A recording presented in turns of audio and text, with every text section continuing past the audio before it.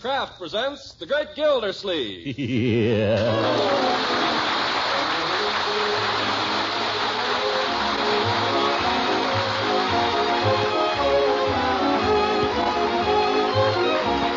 Cheese Company will also bring you Bing Crosby every Thursday night. Present each week at this time Harold Peary as The Great Gildersleeve, written by John Whedon and Sam Moore. We'll hear from The Great Gildersleeve in just a moment. Now, before Gildy starts on his rollicking new adventures, I'd like to take just a moment to tell you about a grand adventure in eating. Of course, we're all backing the government's ration program, but now and then we'd all like a little more flavor and variety. Well, let's take bread, rolls, and muffins, for example. They're still just as plentiful, still just as downright good eating as ever, and a whole lot better for you, made with vitamin enriched flour. But, uh, well, shucks, who wants to eat 'em dry? So here's where we get to that adventure in mighty good eating. For delicious flavor, spread Parkay margarine on bread rolls and muffins, and see how really good they taste. You won't know how delicious until you've actually tried Parkay.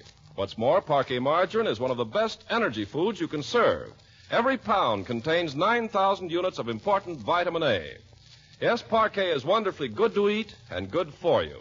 So ask your grocer tomorrow for Parkay, P A R K A Y, Parkay margarine made by Kraft. Now,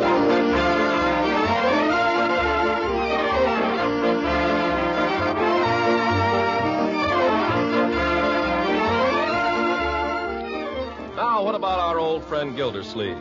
Well, the last we saw of him back in June, he was left at the altar by the widow Ransom.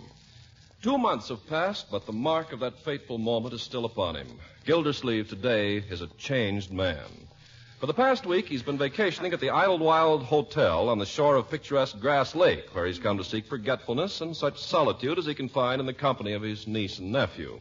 It's the breakfast hour now, and Gildersleeve steps out on the veranda for a breath of morning air before advancing upon the dining room.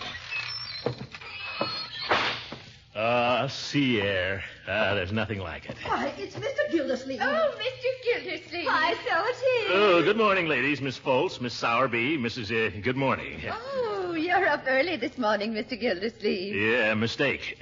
Well, you know the old saying, early to bed and early to rise. Makes a man healthy, wealthy, and wise. Mr. Gildersleeve, you're the first healthy man I've seen in weeks. Oh, thank you. Mr. Gildersleeve, I'm just going to be frightfully bold and ask you if you won't share my table with me at breakfast this morning. Why, uh... Now, Miss Foltz, I saw him first. And where do I come in? Mr. Gildersleeve as good as promised me. Now, ladies, please. Well, I think Mr. Gildersleeve should take us all into breakfast. It's the only way. That's it. We'll all go. Well, I'd be delighted, ladies, but it just so happens. Now, Mr. Gildersleeve, you have nothing to say about it. This is war, you know. ladies, I can imagine nothing more delightful. oh, listen to him. Unfortunately, I just remembered that I forgot something. My niece and nephew. It'd hardly do to forget them now, would it? so if you'll excuse me. Oh. I'll be seeing you anon. But you'll be back. Uh, anon, Miss Foltz, anon. Uh, women, women, nothing but women. I came up here to forget women. What do I find? Miss Foltz. Oh, Mr. Gildersleeve. Miss Sowerby. uh, I gotta get out of here.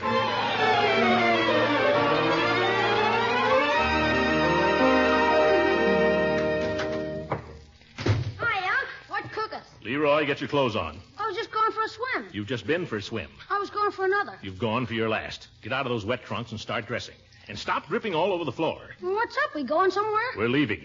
Leaving? You heard me. Get dressed. You mean today? Today we're leaving? Today, this morning, right now, right after breakfast. I already had breakfast. You don't mind if I have a bite? No. Gosh, leaving. I better have breakfast sent in. I'm not going out there with all those harpies. Uh, hand me the telephone. But, Unc, what about the swimming race tomorrow? It's too bad about the swimming race. Hand me the telephone. Hello? Gosh, after I trained a whole week for it. Hello? Just when I stand a good chance to knock off the junior medal. Um, hello? Marge is going to be awful disappointed. She was counting on that dance tomorrow night. Uh, what is this? Tomorrow's the big day, you know. Swimming race, canoe tilting, free food. Hello? Dance in the evening, swimming race. Marge will be disappointed. Room service. Hello, operator. She's going to be awful disappointed, Marge is. Operator, anybody. Hello? Uh, I give up. Call this a hotel. Come in. Well, if if it isn't Sleeping Beauty. Oh, shut up. Tough luck about that dance you're not going to Saturday night. What are you talking about? I'm talking about we're leaving, that's what, aren't we, Uncle? Oh, Uncle Mort, not now. I'm sorry, my dear, but I can't stand another day of this. I can't go anywhere. I can't even stick my nose out of this room.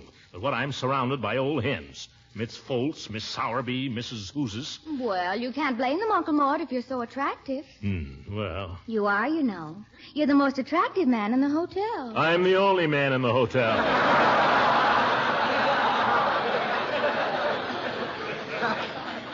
and who said this was a hotel?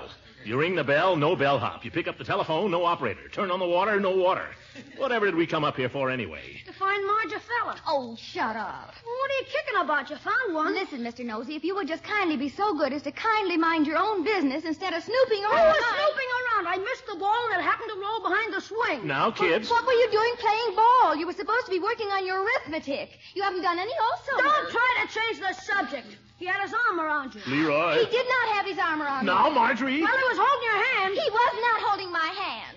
And it wasn't who you think it was. Yeah. She admits it. She admits it. I do not. Quiet. You heard her, Unc. She admits it. He has done a bit of work on his arithmetic all summer. Quiet, both of you. Ye gods, you've done nothing but wrangle you two from the day we got here. I'm sick of it. We're getting out of here on the first train. Oh, Unc. Oh, Uncle Mort, please. No, it's settled. The first train. Now see what you did. Oh, dear. I never did You a thing did like too. that. Ye gods. Leroy, get some clothes on. Marjorie, you start packing. Where are you going, Unc? Never mind. You must know I'm going down to the lake, where I hope to have a few quiet moments to myself and, if possible, recover some of my sanity. Hmm.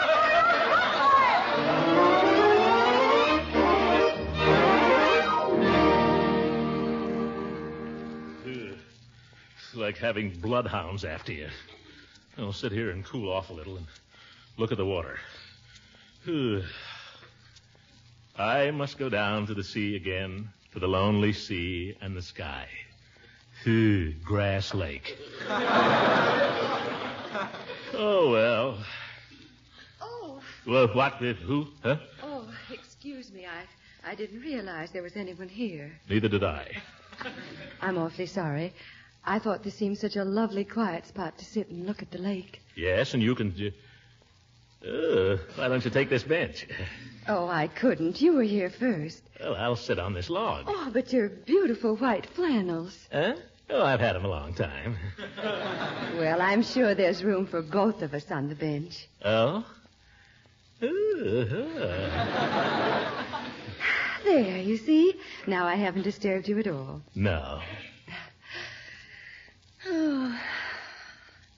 There's a lovely light on the lake at this time of the morning, isn't there? Yes, there is. Would you say it was eerie? What, Lake Erie? No. No, the light. It's a strange, eerie light. Oh, yes, very eerie. It's so seldom one meets a person nowadays who really loves nature. But you do, don't you? I guess so. Uh, you staying here at the hotel? Yes, I just arrived this morning. Are you? Oh, yeah. but I'm going home this afternoon. Oh, just as we're starting to get acquainted. Yeah.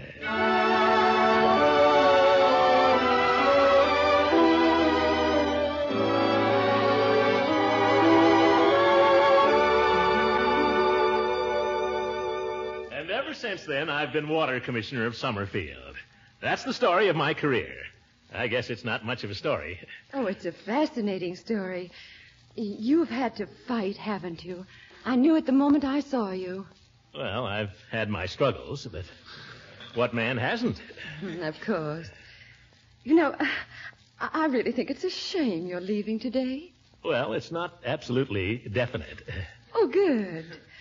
Um, would you mind if I asked you something terribly personal? Uh, uh, uh, no, uh, go ahead. What is it? Well, I don't like to intrude into your. I don't know how to say it even. But I had the feeling while you were telling me about yourself that you were leaving something out. Something that had made you terribly sad. Oh, no, you're mistaken. Am I? Well, tell me honestly. Have you had an unhappy love affair? No. I knew it. Some woman has hurt you. I'm sure because you're so kind and gentle. You must have been wounded deeply once yourself. Well, I. Oh, how you must hate us women, all of us. Well, naturally, I try to be fair, but. I'm afraid I'll never again be able to think of a woman as a friend. Well, you must try. Perhaps if you could tell someone about it, someone sympathetic, it might help. It, it often does help, you know. It's very painful. Well, if it would hurt you too much, Oh, no, no, no. then try. Well, uh, when I first met Leila Ransom,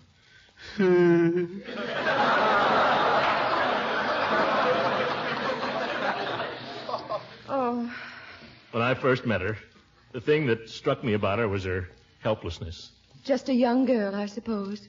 Well, she was more of a widow. At least I understood she was a widow. And she seemed to need someone, someone to shield her from the world. Or that's what she led me to believe. She tricked you. I'm sure of it now. However, I lost my heart to Leila Ransom. I loved her deeply, sincerely. I asked her to marry me, and she consented. But the marriage? We were never married. Oh. I, I stood beside her at the altar, the happiest man in the world, asking only that I be allowed to devote the rest of my life to her. Suddenly, her husband walked in. He was no deader than me. Oh, how dreadful. Yes. You can see why I'm through with women, can't you? Oh, I don't blame you for feeling the way you do, honestly. But I do feel there's hope because, well, I was hurt once, too, terribly. Oh, you you were? Yes, I once thought I could never bear to speak to a man again. Well, that's quite a coincidence. Did he uh, leave you at the altar? Well, it wasn't quite like that. I'll tell you about it sometime. Oh, tell me now. Oh, no, I'd rather not, but you're very kind to be so interested. You've done a great deal for me. Oh, no, you've done a great deal for me. Uh, would you uh, like to walk down this path to the lake for a little way? Oh, I'd love to. It, it looks so nice and shady. Yes, it is shady. You're sure that you uh, won't be nervous walking in the woods with a stranger? Do you think I should be? Let's go. Oh, it's quite steep. Steep, yes. Oh, Uh, oh, what's the matter? oh, my ankle. I'm afraid I've turned it rather badly. Oh, here, lean on me. Oh, thank you. Uh, Oh, you seem so, so solid. well,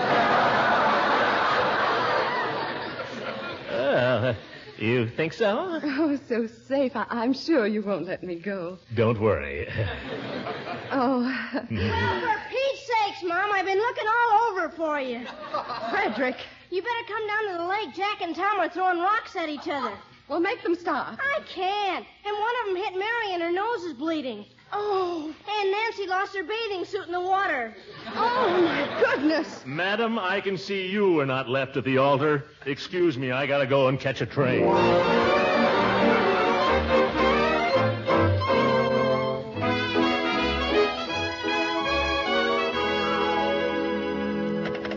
Hello, operator? No, I do not wish a beverage. I want my bill. I want to check out. Room 618 and 619. Yes, we'll see that he hurries. Tougher to get out of this hotel than to get into a good one. Well, I guess I've got everything in the bag. If I can only close it. Oh, Unky, before you close it, could you just tuck in one little thing for me? I suppose so. What is it? Just that little Cupid doll I won in the hotel raffle. But Marjorie, that Cupid doll's almost as big as Leroy. I haven't got room for that. But your suitcase is bigger than mine. It's not that big. If you want the Cupid, carry it in your arms. You'll be lucky if they don't make you buy him a ticket. Gosh, I wish I hadn't won it now. Well, leave it. Let somebody else win it. Uh, where's that man with the bill? Operator, this is 618. If that man isn't here with my bill in one minute, I'm going to sneak out and leave my baggage. That's telling a monk. Yeah. Let's close this thing, Leroy. I'm afraid those hinges are going to. There. Uh, thank goodness. Say, I just remembered something. What? Something you forgot. Wait a second, I'll get it. Yeah, here it is, Unc. What is it? Here, catch. Leroy. Oh, gosh, I'm sorry, Unc. I thought you were looking. Well, I wasn't. Anyway, never throw a wet bathing suit at anybody. Uh, where am I going to put this darn thing? Come in. Mr. Gildersleeve? Oh, yes. You the bill clerk? Oh, no, sir. I'm the assistant manager. Oh, excuse me. That's all right. The clerk told me you'd asked for a statement, but we can't let you check out, Mr. Gildersleeve. We're counting on you to be master of ceremonies at the ladies' archery contest this afternoon. Uh, give me my bill. But, Mr. Gildersleeve, the ladies will be so disappointed. I can't help it. Why don't the ladies leave me alone? Well, there's a war on, you know. That has nothing to do with it. Get my bill ready and send somebody up here for my bags. all right, if you insist. Uh, now, what was I doing? Thinking about your wet bathing suit. That could be dry by tomorrow, Unc, and I wouldn't miss the swimming race. Never mind. Uh, better wrap it up in a couple of dirty shirts. Makes an awful, awful lump, though. Come in. Well, hello, everybody. Hooker. Hello, Judge. Hi, Judge. What are you doing here, you old goat? Well, if that isn't foolish question number 999. I came to spend the weekend with you. I'm sorry, but you're too late, Judge. I can't stand another day in this place. Oh, now, Gildy, I've come all the way up here to see you. How about 18 holes of golf right now? Uh, golf. That's what I came up here for. And this afternoon, we could go fishing on the lake. Maybe get a couple of smallmouth bass for supper. Oh, smallmouth bass fried in breadcrumbs with a little lemon juice. Yeah. We've had chicken here every night this week. Oh, come on, Gildy. Tomorrow we can hire some horses and go for a ride along the mountain trail. By George, Horace, I'll stay over with you. Oh, Uncle Mort, you darling. Judge, you're a hero. Well, everybody happy. Operator, uh, this is 618. No, I've already checked out. I want to come back. Yes, till Sunday morning. I don't care who wants the room. I've got it, and I'm going to keep it. All right, go on, Leroy. Go on, Marjorie, with your swimming race. Line up your date for the dance. Hooray! See you later, Unc. I gotta get back in training. I gotta solve a manpower problem. oh, yeah. Doggone it, Horace. I'm glad you came. I've been trying to find a golf game, somebody to fish with, ever since I got here. You have, Gildy? Well, you must be slipping. There's plenty of golfers right here under your nose. Well, I couldn't find them. Well, I signed up a couple for a foursome with us this morning, and they're going fishing with us this afternoon. Oh, that's great. Not only that, but tomorrow night they're going to the dance with us. Wait a minute, Hooker. Who are these golfers? Two Lollapaloozas, a Miss Foltz and Miss Sowerby. Oh!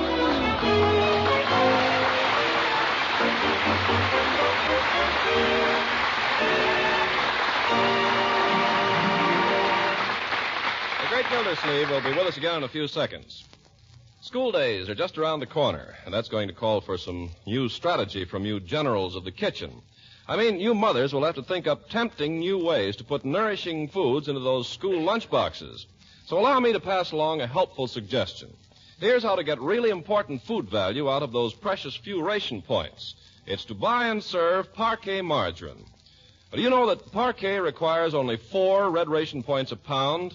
And every pound of Parkay contains 9,000 units of important vitamin A. In your government's official nutrition program, the daily use of such excellent foods as vitamin fortified margarine is recommended. As for appetizing flavor, well, Parkay really satisfies. You'll find Parkay just about tops as a delicious spread for bread. And you may be interested to know that Parkay carries the seal of acceptance of the Council on Foods and Nutrition of the American Medical Association. So ask for Parkay, P-A-R-K-A-Y. Parkay margarine made by Kraft.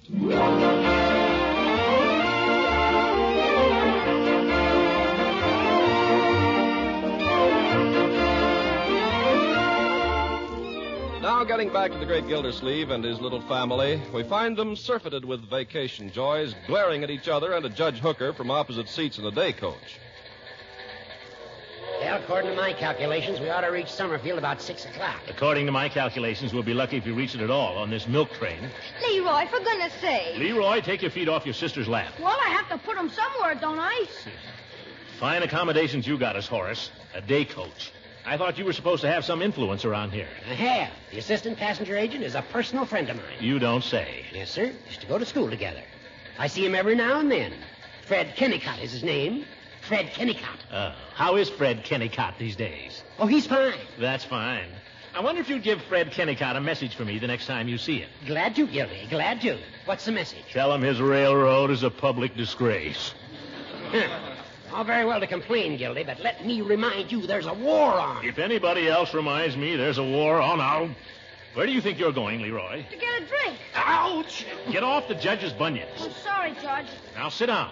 Oh, gosh, can't I even get a drink of water even? You've had a drink. You've had 50 drinks. You've done nothing but run from here to the water cooler ever since we got on this train. But, Unc, I'm dying. You heard your uncle. Sit down. You keep out of this, Judge. I'll handle it. If he were a boy of mine, by golly, I know what I'd do with him. If I need any advice from you on the handling of children, Judge, I'll ask for it. Feel free to do so at any time. Thank you. You're welcome. Ho hum. What a jolly little journey. Oh, Marjorie's right. We shouldn't be allowing ourselves to get on each other's nerves here. After all, this will all be over in an hour or two. Or three. By six o'clock, we'll all be home. Birdie will be there waiting for you with a fine big dinner. Birdie. Yeah, now you're talking, Judge. Good old Birdie. By George, after all the stale chicken I've had to eat in the past week, I could plow into one of Birdie's dinners and really do it justice. Uh, so could I. I tell you, Judge, there's not a finer cook in the, wor- the world than our Birdie. Huh? I won't argue with you there, Throckmorton. I still remember the last dinner I had at your house. Though it was some time ago. Yeah. It's truly an experience, truly an experience. Though, as I say, it was some time ago. Horace, I want you to do me a favor. I want you to be my guest tonight at dinner.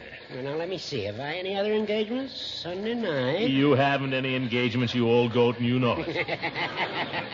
Throckmorton, after consulting my calendar, I'm delighted to find myself in a position to accept your very welcome invitation. Is he kidding? Yes. well, kids, we're going home. By George, I don't know why we ever left it.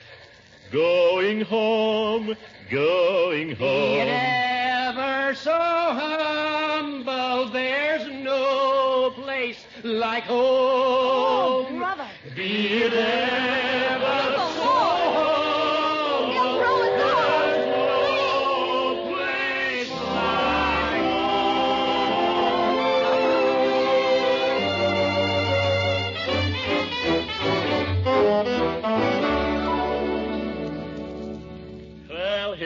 kids. Uh, Birdie! Oh, Birdie! Is that you, Mr. Gilsleeve? Hello, Birdie. Oh, and Leroy and Marjorie and Judge Hooker. Well, my goodness, I sure am glad to see you. No gladder than we are to see you, Birdie. That's right, Birdie. Yes, indeed. Yes, sir. I'm mighty glad to see you, Mr. Gilsleeve. Well, our train was a little late. I hope we haven't spoiled the supper. Spoiled it. Yes. Supper? Yes. Mr. Gilsleeve, there ain't no supper to spoil. Oh. oh I didn't expect you till tomorrow. But I don't understand, Birdie. You just said you were glad to see us. I am, Mr. Gilsleeve. You arrived in just the nick of time. I was just going to the weekly meeting of my Victory Lodge, and I'm retroactive in my dues. Yeah. Oh. well, here's a little advance on your salary, Birdie. Thank you, sir. I'm sorry about supper, but there ain't a bite of food in this house. Well, now, if you all would excuse me, Oh, I'll wait just- a minute, Birdie. Don't I smell chocolate cake? Yes, by golly. So do I. Is there chocolate cake in the house, Birdie? well, yes, sir, there is. I baked it for the Run Hitler Out of Town rally tonight at the lodge. The party that buys the war bonds with a certain number on it, he gets the cake as a bonus. Oh, oh, it's a raffle. Oh, no, sir. Buying a raffle ticket is illegal. But nobody's going to throw you in jail for buying a war bond. Yeah, yeah, maybe you're right. How about that, Judge? Well, without passing on the constitutional questions involved, I'd like to buy a chance on the cake. Well, y'all can have the cake for your supper if you want it. No, Birdie, you take the cake and chase Hitler out of town with it. We'll get along some way. Gee, I'm hungry. Isn't there anything in the icebox, Birdie? Not a thing, Leroy. I'm sorry. Well, never mind, Birdie. Good night. Good night, Mr. Gilsleeve. Good night, everybody. Yeah, good night. Have a good time. Well, I guess I'll call up Piggy Banks and get invited to his house. You'll do nothing of the kind, young man. Haven't you any pride? Sure I have. I don't have to beg Piggy. Well, I don't like it. And no hinting now. Are you kidding? He's my pal. Hello, pig face. Oh, pardon me, Mrs. Banks.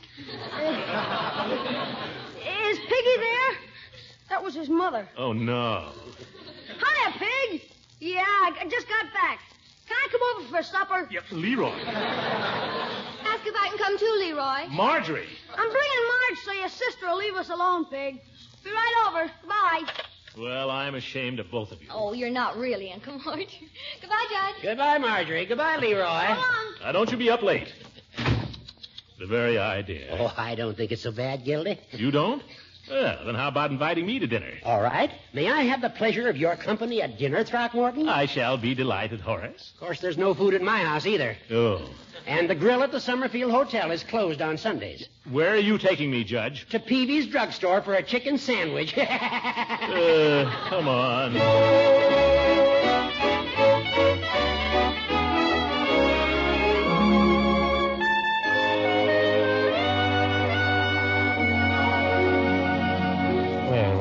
Sodas satisfactory, gentlemen? Oh, I guess they keep the breath alive in us for a while. I'm using a new strawberry flavoring now, a synthetic.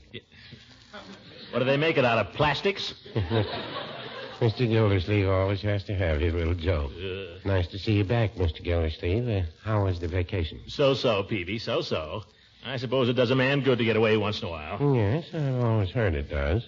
Though I haven't taken a vacation myself in 30 years. Neither has Mrs. Peavy. Yes. 30 years with one woman? That's a long time. Well, no, I wouldn't. Yes, I will, too. It's a long time. The last time I took a vacation by myself was back in the summer of 1913. Oh, that the summer you got engaged? No, oh, no. We were engaged for five years before that. of course, five years is a long time, too, but then I, I believe in long engagements. So does Mrs. Peavy. Yeah, long engagements, short engagements. As soon as a man lets a woman get a hold on him, his life is over. Well, no, I wouldn't say that. Speak for yourself, Gildy. That's just who I'm speaking for. Gentlemen, from now on, I'm a free agent. Marriage may be all right for some people, but not for yours truly. Because, frankly, I'm just not interested. Our friend here sounds a little bitter. There wouldn't be a touch of sour grapes in that now, would there, Gildy? None at all. You're referring to Leela Ransom? Forget her, because I have. Uh, speaking of Mrs. Ransom. I haven't uh, given her a thought from that day to this. Uh, speaking of Mrs. Ransom. If she were to walk right in here now, it would mean nothing to me. Absolutely nothing. I hear she may be coming back to Summerfield. No, sir. If I. Where'd you hear that? You uh, read the paper, didn't you? I haven't seen a paper in a week. Well, then you didn't hear about her husband. Beauregard? What about him? As if I cared. Sad. Very sad. But I suppose we all have to go sooner or later. What do you mean? He's here today and gone tomorrow. Yeah. Peavy, what are you talking about? It's something we all have to face. We can only hope that when the time comes, we'll be ready. Peavy, will you stop mumbling and tell me what happened? Yeah, for the love of Mike, Peavy. It was in the paper yesterday. Beauregard Ransom passed on as the result of an accident one week ago today. Oh, that poor little girl. Now she's going to need an understanding friend.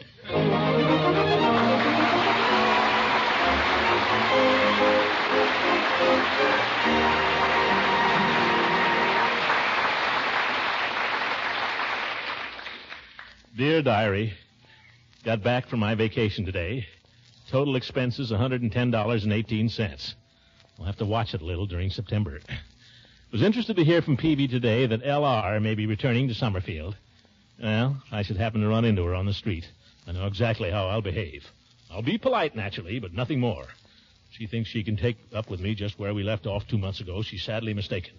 I'll show her that I'm not to be tossed aside lightly like an old glove. Yeah. It'll be how do you do, Mrs. Ransom, instead of hello, Leila. Leila. Oh, Diary, am I going to make a jackass of myself all over again? Good night.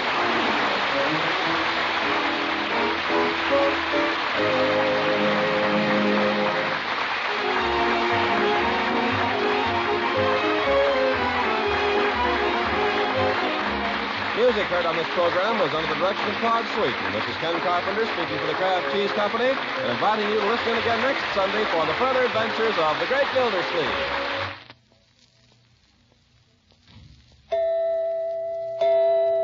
Homemakers, I want to tell you about something that's a point saver, a time saver, and a money saver all in one. It's Kraft Dinner, the product that gives you swell macaroni and cheese in just seven minutes cooking time. A package of Kraft Dinner serves four people at a cost of only a few cents a serving. And you get three packages. That's three separate family main dishes for only one single red ration point. Does all this sound too good to be true? Well, try Kraft Dinner. See how the special Kraft Dinner macaroni cooks fluffy tender just in boiling water. See how the Kraft grated lets you whisk cheese flavor through and through the macaroni in a jiffy. Then listen to the folks compliment you on that speedy, delicious macaroni and cheese. If you like, you can mold your hot Kraft dinner into a ring or timbales and serve with cream vegetables, fish, chicken, or what have you. Try it soon. Spend one single red ration point for three packages of Kraft dinner. This program has reached you from Hollywood. This is the